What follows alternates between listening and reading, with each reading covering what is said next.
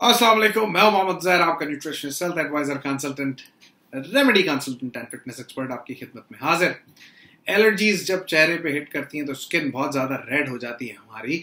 तो ऐसे में क्या करना चाहिए? ऐसे में इस रेमेडी को इस्तेमाल करना चाहिए ताकि एलर्जी से हम जान छुड़ा सकें और स्किन हमारी फिर से नॉर्मल हो जाए।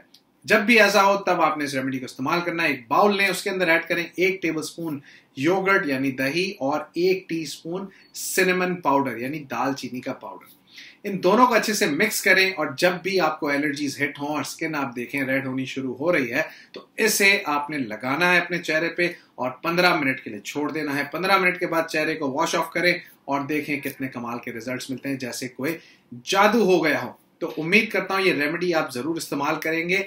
इस्तेमाल तभी करना है आपने जब आपको फील हो और जब आपको ऐसा लगे कि एलर्जीज आपको हिट कर चुकी हैं और स्किन आपकी बहुत ज़्यादा रेड हो गई है।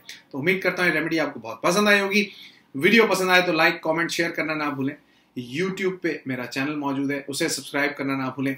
और मजीद आगे लोगों तक वीडियोस पहुंचाना ना भूलें।